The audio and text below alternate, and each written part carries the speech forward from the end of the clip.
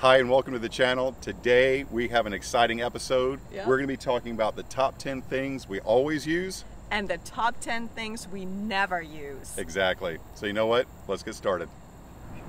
So, we thought it'd be fun to kind of go over all of the things that we always use and all the things that we never use Yep. as we've traveled the entire United States over the past three years. Mm-hmm. There's so many things that you think about when you first get started. Yeah. And you're like, I've got to have this, I've got to have that. You make spreadsheets of all the things Everything. that get mentioned all over the, the websites and YouTube channels. Instagram and all that, you're like, you I love this. this. Yes. And you look at it and you say, you know what, I'm going to buy it. It comes in and Yeah. you never use it. Exactly. Or you find out you're camping somewhere and you say, I didn't know I you would use this all the time. Exactly. And that's what we're going to talk about today. yes. The only problem is because we've structured this with always use and never use, who's going to be the good cop and who's going to be the bad cop?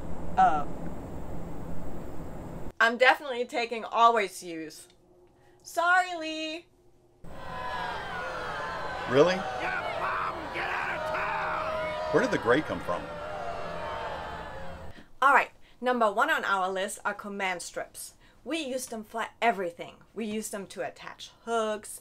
Um, we also use them to put the remotes on the wall because sometimes it gets a little awkward. You don't have a lot of surface area to put them, so we just Velcro them on the wall. Um, we use them obviously for pictures because you can't use nails. So yeah, so they are perfect for pictures. All kinds of. However you camp, you'll figure out how to use them. But trust me, you'll definitely need them. The gray? Come on. So, on the top of the list of things we never use, the tripod. Now, I know you guys are probably using a tripod right now, but for the way we camp and all the states that we've been to and all the travels that we have done, we have never, not once, used the tripod for stabilization. Why? Because in our rig, we've been traveling with a fifth wheel, 43 feet long. It's too long to stabilize quickly. And because it's not quick, we don't ever do it. I would have to have a tripod in the front, stabilization in the back, X-Chocks on the tires, and even then, the truth be told, delivery. Truth be told, I'm six foot two, and anytime I go to the back of the rig, Pam jumps about an inch in the front. It's just the way things go. So you know what? Everybody camps different. Everyone camps unique. But for us, the ease, the quickness, the ability to get it stabilized right when we get to camp, it's just not there. So you know what? This is going in the garbage.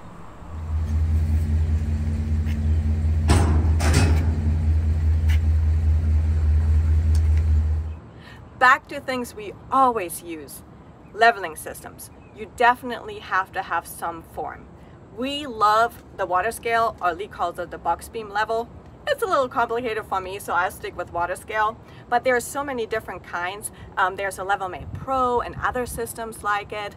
Um, there's apps on your phone. Whatever it is, you gotta have your rig as level as you can before you use the auto level if you have it. So definitely one item you will use.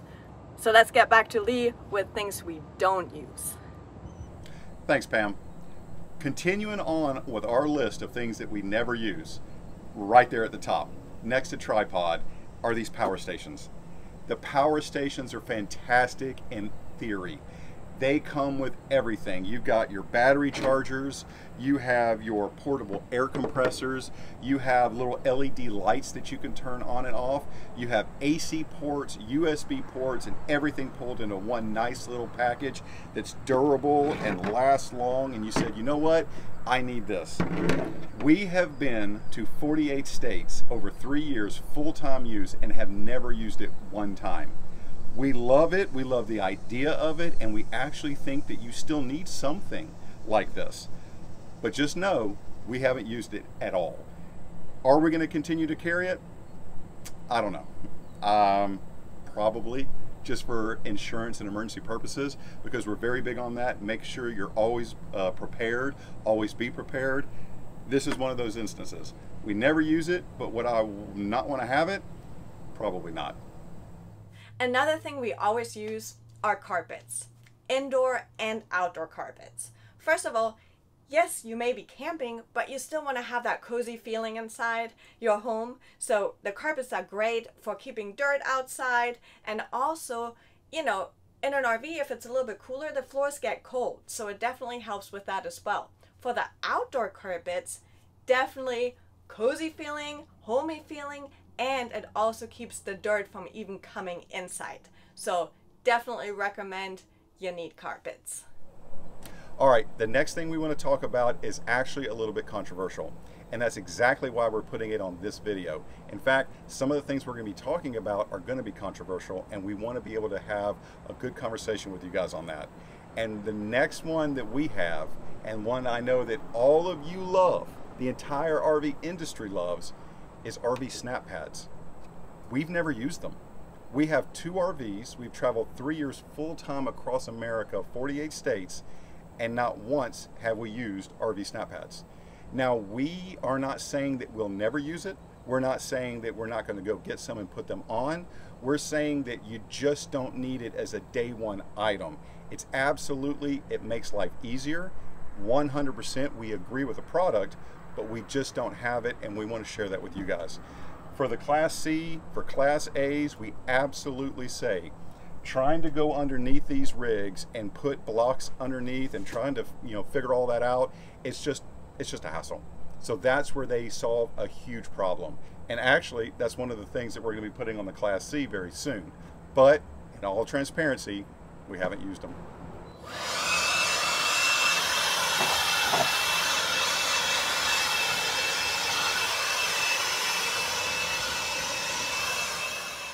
Next on the list of things we always use is the blower.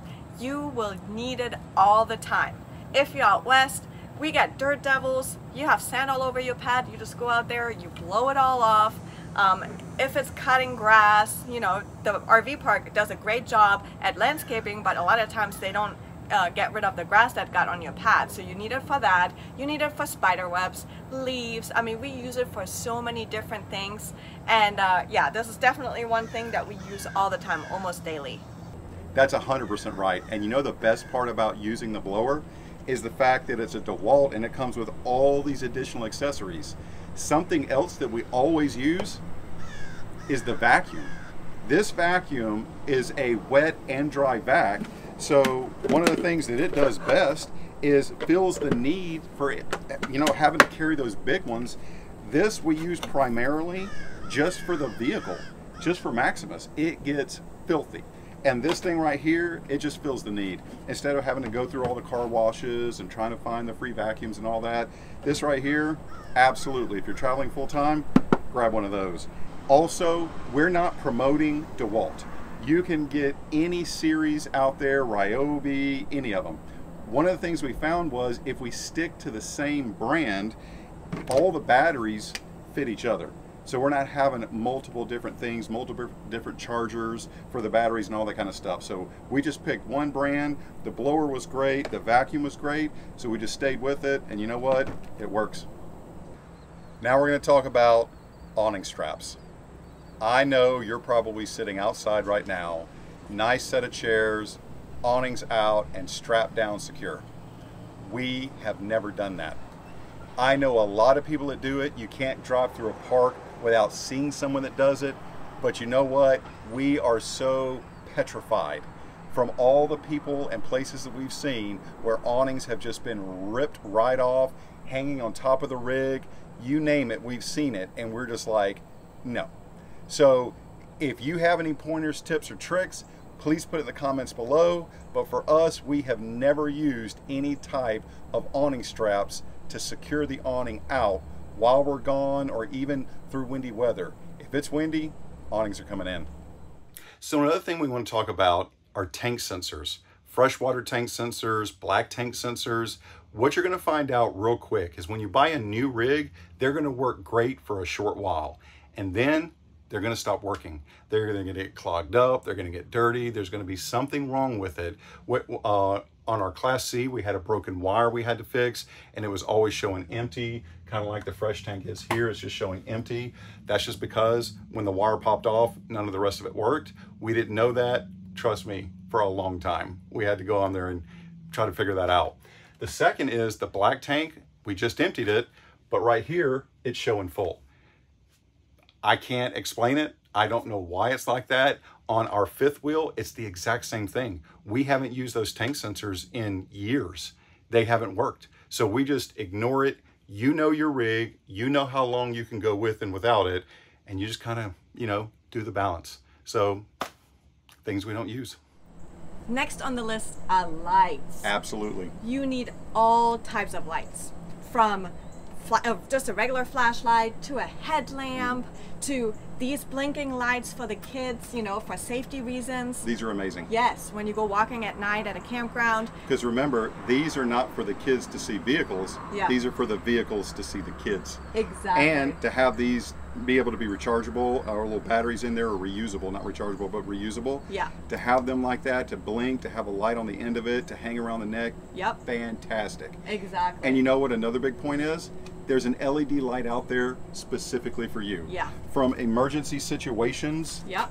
to safety to just going out and trying to find out why something on your rig is broken at night because half the day is at night. Or backing in if you get somewhere late. You have the headlamp to help guide. I mean, it's so many different reasons.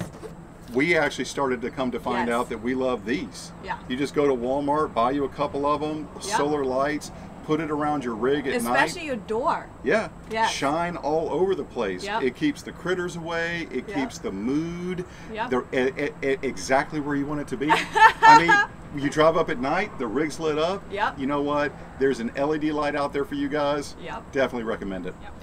All right. Next on our list, we're getting a little bit dirty. It's right here. Poop hose wrenches. I'm going to tell you right now, this is one of those things where you will absolutely need when you need it. When it's cold, when the poop hoses are frozen together, when it just gets a mess and you just can't get it disconnected. These right here are invaluable. With that said, we've only used it one time in three years. And the reason for that is we chase 70 degrees. If we are found anywhere near where it snows, Pamela is already telling me we're heading south. So you know what? We definitely recommend having them, but we just never use them. The next thing we want to talk about of things we always use is going to be TPMS. In fact, we won't travel now without having a TPMS. And just to let you know, we did travel for a while when we first started without having one, and that's because we had one that didn't work. And so we just kind of gave up on it. But since then, we got a new one, we put it in, and very shortly, tires started having problems, just as you guys have seen on some of our previous episodes. Tires are always a problem. We have two RVs, we have 18 tires between them and the 350. We have tire issues one in five trips. So, you know what? TPMS is definitely something you guys are going to need. All right, I had to infuse myself into Lee's segment about what we don't use. apparently the gray and the negative Nancy and all the, the bad vibes, we had to bring some positive light into it. Yes. But I'm gonna tell you, she's definitely not gonna like our next topic, and that is zero level chairs. Yes. Uh, sadly, I do agree with him on this one, though. You know what? The camping image, the, just the feeling of going camping, sitting out, relaxing, Mm-hmm. set up. You've got your rig, you've got your great location, your Yeah. favorite spot, you got your drink in hand. Yeah. You just want to sit down in a zero, zero level chair, kick up the feet, Yes. and relax. The reality, and we're going to tell you from personal experience, Yes. we carried one around for about a year Uh-huh. before we got so mad and threw it away. Yeah. It's just one of those things where we just never found a way to use it. Well, the thing is that yes, and thought they're great. However, they're very awkward to carry. They're Yes. very heavy. Bulky. You sit on it and you basically just need to sleep in it or Yeah. lay down on it, and it's hard to sit in it because the back is so high. So we're very social people. So every I time we're y'all know at- that. Every time we're at a campground and somebody walks by and wants to talk, you don't want to be laying down talking. So you gotta pop back up and you go down and you have dogs and you have kids and, And bugs. Yes, and you're always in motion. Guys, I want to be honest with you. Zero level chairs are great for the pool, they're great for the home. Yeah. But when you're traveling around America, Yeah. trying to carry one around, pop it up all the time, Uh-huh. it's just cumbersome. And Yeah. really, when you finally get to your location, when you finally get set up, you really just don't have the energy anymore to kind of do all that. Yeah. So take that in mind. I know there's probably a bunch of you right now that are on zero level chairs Yeah. watching this video Yes. going, what about me? Yeah. We agree. Everyone camps different. Yeah. But for us, we don't need it. we've never used it. Yeah. All right, the next item we definitely use every day is our Blackstone griddle. We absolutely love that thing. And if you think about it, if you're going camping, why do you want to be inside the kitchen when you can be outside? And it also is always a problem with the space you have with your stove. If you're already an RVer, you know that already. If you're planning on being RVer, I'm sure you've toured a bunch of them already and you thought, you know what, this is really cute. However, yeah, we need a little bit more. So definitely think about the, the griddle type grill. Um, it's also nice to have a charcoal, but you can't make eggs on a charcoal. And uh, bacon is a little bit harder too. So the griddle is definitely the way to go. All right. This one I had to take over from Lee of things that we don't do or don't use, and that's baking s'mores. I know I'm a mom, I hate to say this, but yeah, we did it maybe the first month or two, but now that we've been into RVing for three years, barely ever. Our kids don't even want it anymore. First it started, well, mom, I don't really want to have the cracker and the chocolate anymore. I just want to do the marshmallow. I just want to roast it. Now we're to the point where they just grab the uncooked marshmallows out of the bag and eat them like that. So yes, that is definitely something we don't do. All right, another controversial topic and something I know that Mm-hmm. everyone in the RV industry absolutely loves and absolutely uses all the time. Yep. But something that we never use Yep, solar and generators. exactly.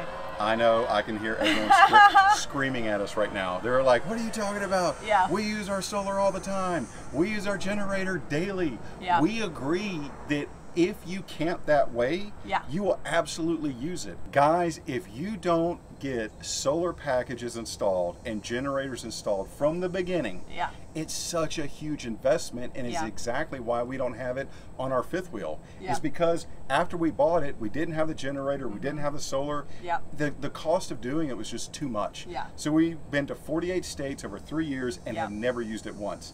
That being said, when we bought the Class C, it came with solar and generator. Yeah. And it has completely changed the way we camp. Yeah. We traveled 48 states with a fifth wheel. We became uh, accustomed to doing it one way. Mm-hmm. We finally start traveling with a Class C, and it completely changes the way we camp. And now we've actually used the generator. Yeah. And we've used the solar. That's true.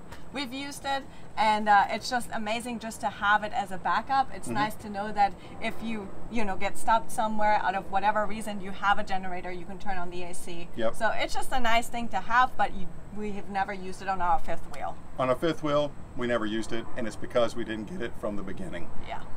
With the Class C, we've used it at a couple truck stops already. There's nothing better than pulling in, starting up the generator, Yeah. running the ACs. So again, the way you camp will determine whether you're going to use the solar and the generators or not. Yeah. Next is thermal cups. There are so many different kinds. It doesn't matter what you use. We like to use Yeti.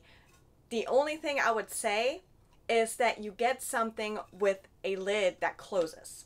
So the reason why we specifically like Yeti is because you can actually take the lid uh, cap off. It's a magnetic magnetic system, so you can take them off, put them back on, close them, wash them really good. You can take the rubber seal off and wash it really good, especially if you don't have a dishwasher. And uh, they're just so versatile. You know how it is. You're camping. It's beautiful at night, but there's bugs. Always bugs. So you want to be able to close the lid so you don't have any kind of surprise at the end. I mean, I guess a little protein is not so bad, but we prefer to have clean water. so yeah, this is definitely one we use all the time. Yes, the gray is here for a reason. We have another controversial topic. Camping memberships. Mm-hmm. We don't use them.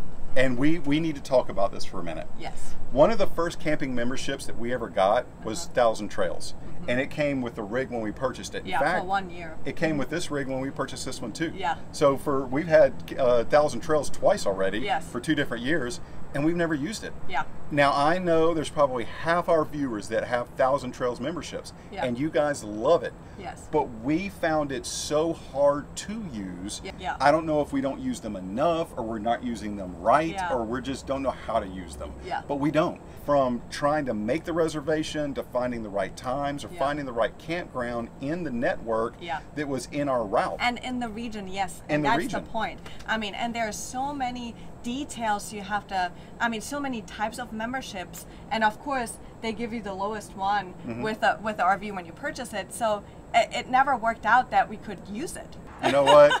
There are so many more RV memberships that are out there. Yeah. I don't know what you guys use or don't Uh-huh. use. Definitely put it in the comments below. Yeah. We're just sharing some of the truth with you guys. Want to be transparent. Yeah. But RV memberships, we just don't use them. No. All right, we're here at the end, and the one thing that we use every single day, Yeah. it's your phones. Yes. Guys, your phone is the center of everything. Mm-hmm. For most rigs coming out 2024 and beyond, they're all going to be centered around the apps that you use on your phone. From running your slides to running your awnings to running your Water heaters. your we know water a lot about heaters, water heaters. everything. From your reservations that you use, mm-hmm. the planning that you use, Weather apps. weather apps, stay safe. wind apps, Yeah. everything comes right to your phone. Hotspots. If you Hot don't have, you know, if you need to watch a little Netflix or something, you never know. You got to. These right here are the center of your entire world as you go full time across America. I tell you what, second to none, your phone's center of everything. yes. You know what? We had a great time. We hope you did too. All the things that we always use and that we never use, we Yeah. hope it gives you guys some good insight. Yep. And you know what? We'll see you next time. Maybe that's why they were sensitive. I don't even know what I'm saying.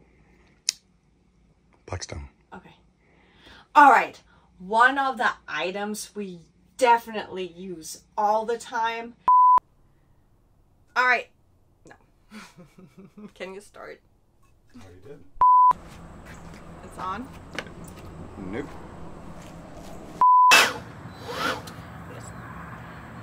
Yes, you could cook it on here, but do you really want it inside your home when your space is so small? It's just going to stink up the whole place. All the fire alarms go off. It's just not fun. I'm just letting you know. Headlights, flashlights, these, uh, I don't even know what you call these. Amazing. Blinking lights.